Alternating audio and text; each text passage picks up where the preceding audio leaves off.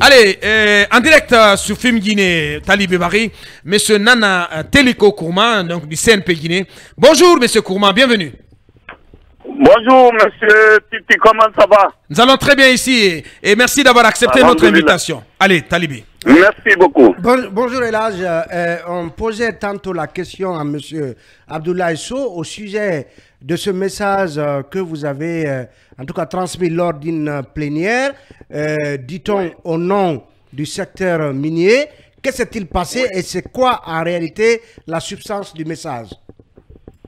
Très bien. Pour être très très très court, vous êtes au courant de la mise en place de la convention collective des miniers.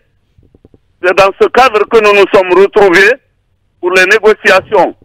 Le gouvernement était représenté, le patronat représenté, le syndicat représenté. Euh, je dirigeais la partie patronale. Mais bien sûr, dans la euh, dans la partie patronale, il y avait les miniers. Donc, on a discuté de beaucoup de points jusqu'au moment où nous avons atteint le point qui concernait les salaires. Nous nous sommes retrouvés avec nos amis syndicalistes parce que les syndicalistes ont une convention avec le patronat. Cela dans le but d'apporter l'apaisement dans le pays. Nous avons cette convention. Parce que de toute façon, nous aussi, nous sommes des syndicalistes. Nous avons regardé dans la salle, il y avait deux doyens. Il y avait M. Lee du côté syndical et il y avait moi du côté patronal. Oui. Mais puisque j'ai eu la chance d'avoir un peu plus euh, d'années que lui, par respect pour moi, il me dit non, euh, moi je vous laisse le doyenat. J'ai dit dans ces conditions, nous sommes là, nous ne devons pas sortir d'ici sans avoir trouvé de bonnes solutions à la satisfaction de toutes les parties. Nous avons cette responsabilité morale. C'est ainsi que, au moment de poser la question salariale, nos amis du syndicat m'ont confié, et j'étais d'accord avec eux. Vous, vous allez transmettre notre message sur ce plan-là, puisque vous êtes nos doyens, vous êtes nos employeurs, nos, nos employeurs. Oui. Et me disent, nous voulons qu'on nous donne 25 à 30 du bénéfice net de la production des miniers, parce que c'est nous qui travaillons. C'est nous qui faisons l'extraction. Le risque du travail, c'est nous, etc., etc. Je veux raccourcir, quoi. Oui. J'ai dit d'accord, je suis d'accord. Alors, on s'est assis devant la salle, là-bas, le médiateur est là. On a donné la parole au syndicat. C'est M. Diallo lui-même en personne qui m'a dit non. Et là, nous vous nous vous chargeons de transmettre notre mission. Oui. Notre mission. Votre- J'ai votre- dit leur alors, message. Leur message. Oui. J'ai dit alors, voilà ce que nos amis du syndicat souhaitent respectueusement. Ils veulent une, euh, euh, au lieu qu'on parle de salaire désormais, qu'on leur donne une parti- participation bénéficiaire à hauteur de 25 à 30 juste du bénéfice, pas du chiffre d'affaires. Voilà le message que j'ai traduit et je pense que c'est un message noble que j'avais la responsabilité en tant que doyen de transmettre ce message. Oui, mais un message, un message, euh, un message, disons-le, Monsieur Kourouma, un message qui euh, provoque euh, des remous dans le secteur des- dans le secteur minier, euh, aussi bien du côté des employeurs, donc euh, les patrons des compagnies minières qui sont effrayés à l'idée euh, d'une telle réclamation euh, euh, qu'au niveau des, des travailleurs eux-mêmes qui tiennent, euh, en tout cas, euh, qui ont porté une telle réclamation euh, lors- lors- euh, dans le cadre de ces négociations. Euh, donc, ce que vous, vous avez euh, à préciser ce matin, c'est que euh, ce- cette communication euh, n'est pas celle du patronat, mais vous n'avez fait que transmettre un message du syndicat euh, du secteur minier. Exactement. Pour la simple raison que ce sont eux qui sont en train de faire le travail. Sans eux, il n'y a pas de travail. Et si c'était des expatriés qui étaient venus en qualité de manœuvre, vous conviendrez avec moi que le salaire sera 10 fois, 100 fois ce qu'il est aujourd'hui. Mais qu'à cela ne tienne, quand cette proposition a été faite, nos amis du secteur minier Oui. ont demandé qu'on leur accorde euh, un délai, ils n'ont qu'à aller se référer aux miniers. parce que c'est leurs représentants techniques qui sont venus dans la salle. On a dit d'accord, tout le monde a dit d'accord.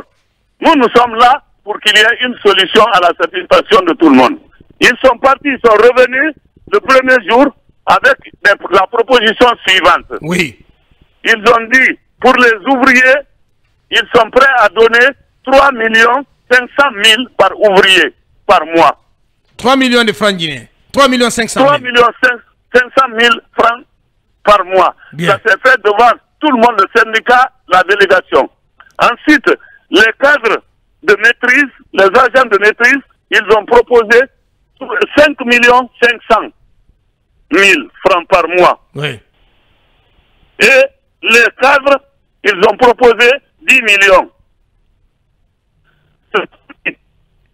Ayant entraîné des débats contradictoires dans la salle, ne permettant plus de continuer le travail, M. Marcel Lolamou, l'inspecteur général adjoint du travail, a suspendu la séance parce qu'il n'y avait pas d'entente.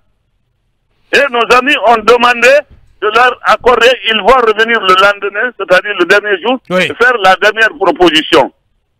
C'est ainsi qu'ils sont partis, ils sont revenus le lendemain, ils ont fait la dernière proposition. C'est eux-mêmes qui ont fait la proposition, c'est pas le patronat. Et moi, en plus, je précise que j'ai parlé en tant que doyen. Je n'ai pas parlé au nom du patronat. J'ai parlé en tant que doyen. Bien. quelle, était la, dernière, proposition? Oui. Ils ont proposé, c'est le ministre, leur porte-parole même qui a lu le, texte. Ils ont dit, désormais, ils vont aller de 5 millions, euh, de 3 millions à 5 millions 500 pour les ouvriers. Oui. Vous avez noté? Oui, nous notons, oui. Et 13 millions pour les agents de maîtrise. Oui. Et 25 millions pour les cadres. Oui.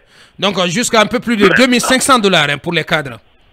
Exactement. Ils avaient euh, posé le salaire en devise, mais ils ont reconverti là-bas dans la salle. En francs guinéens. ça a donné. Mais j'oubliais d'apporter la précision. Quand il y a eu les contradictions pour le premier jour, la première proposition, moi, je me suis référé à la tutelle, j'ai expliqué à M. Kaba Ansouman, qui m'a dit, non, dans une négociation, il faut que chacun fasse sa proposition. Il n'est pas dit parce que les syndicats ont dit ceci, il faut ceci obligatoirement. Notre objectif, de toute façon, c'est de les tirer vers le haut. Mais les autres, il faut écouter aussi la proposition des miniers. Quand les, quand les miniers vont faire leur proposition, si ça sied au syndicat, alors vous approuvez ça. Comme ça, alors, alors, il n'y a pas d'incident. Alors, ce qu'on a envie de comprendre pour euh, la compréhension de nos auditeurs, c'est que euh, face à la réclamation de 25 à 30% de revenus, en tout cas de, euh, de bénéfices à reverser, de bénéfices des compagnies minières à reverser aux travailleurs, donc c'est leur réclamation. Les miniers, les, dirigeants des compagnies minières proposent en lieu et place une augmentation substantielle du traitement salarial de ces travailleurs. Exactement. Bien. C'est eux qui ont proposé ça. Le rapporteur a pris note. Ça a été corrigé là-bas. Bien. Est-ce que, est que ça sera étendu à tous les secteurs d'activité Puisqu'on parle du secteur privé, du patronat? On a dit d'étendre ça parce qu'on est en train de faire les conventions secteur par secteur. Les conventions collectives. Des réalités, oui. Oui, les conventions collectives. Bien. En fonction des secteurs, en fonction de leur rentabilité, parce que toutes les structures n'ont pas le même, les mêmes moyens de travail, le même chiffre d'affaires, le même bénéfice. Elles sont différentes. On est en train d'aller secteur par secteur. Mais on dit que si cette proposition est retenue par le syndicat, qu'on puisse l'entériner. Ce que nous avons fait. Allez. Tout le monde était content dans la salle. Sauf que, mhm. moi j'ai dit que c'était un message, le message du patronat, maintenant le message du patronat, c'est de faire en sorte qu'on privilégie les conditions, qu'on améliore les conditions des travailleurs en Guinée. Donc vous confirmez que le syndicat, de, le syndicat du secteur minier euh, adhère à ces propositions? C'est elle-même qui a fait les propositions.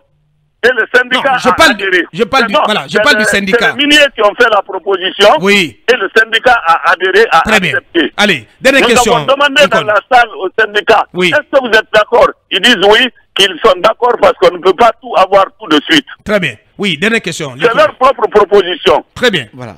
Alors, alors, alors et là, je, nous ne comprenons pas ce que vous, tout, ce que vous expliquez. Tout cela s'est passé euh, euh, dans une séance collective. Comment comprendre la colère des milliers désormais euh, contre vous? Parce que simplement vous avez transmis euh, un message du syndicat qui a été donné devant tout le monde C'est un message qui a l'inspecteur qui était là pour présider la séance, c'est l'inspecteur adjoint du travail. Passez-lui un coup de fil, il vous confirmera ce que j'ai dit. Mais je ne peux pas, en tant que doyen dans la salle, qu'on me dise qu'on a du respect pour nous, que je dois... Vous savez, nos traditions coutumières africaines, africaines c'est quand il y a les jeunes et les vieux, on donne toujours la parole et le respect aux vieux. Hmm. C'est dans ce cadre qu'on m'a donné cette autorisation de transmettre ce message que j'ai transmis. Donc ce n'est pas un message venant du patronat, encore une fois. Non, ce n'est pas un message venant du patronat. On a étudié ensemble les conditions de vie. On dit on va aller dans la salle. Toute proposition qui fera du bien que les syndicats vont accepter, nous devons l'accepter. Bien. C'est pas parce qu'ils ont demandé. Je pense que, abandonné je pense que l'essentiel est dit. Hein. Oui, Talibi. Sauf. Qui compte. Vous dites J'ai dit c'est la finalité qui compte. Voilà. Et finalement, il y a la paix entre vous et là, c'est ça? Tout est réglé. Hein? Tout est réglé désormais. Est-ce que vous, euh, euh, comment, vous embouchez la même trompette que euh, les patrons du secteur minier? Est-ce que vous êtes compris finalement? Le secteur du patron, si les miniers étaient venus nous voir, on allait accepter le dialogue, mais ils ont porté le problème à un niveau, nous avons été surpris de voir leur réaction. Qu'est-ce que nous avons, nous avons déduit? Est-ce qu'ils veulent diminuer ce qu'ils ont proposé? Ou alors ils veulent l'augmenter?